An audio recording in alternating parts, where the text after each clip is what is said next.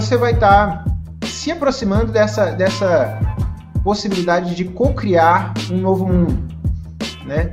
É, na medida que você descubra pessoas que também compartilham do mesmo interesse, se conecte com elas e você forme novas comunidades e, portanto, novos mundos.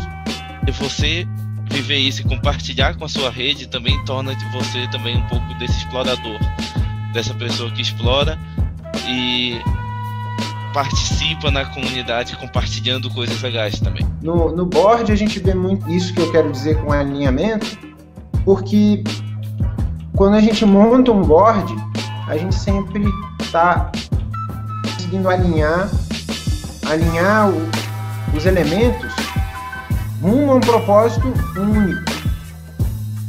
Né? Todos esses elementos ficam alinhados quando a gente monta o board. Agora é minha vez de jogar realmente, de fato, isso, pegar o tabuleiro e, e trazer para minha vida, trazer essa, essa jogada e viver esse jogo. Quando a gente encontra essas, essas novas conexões, na verdade a gente está encontrando um pouco mais a si mesmo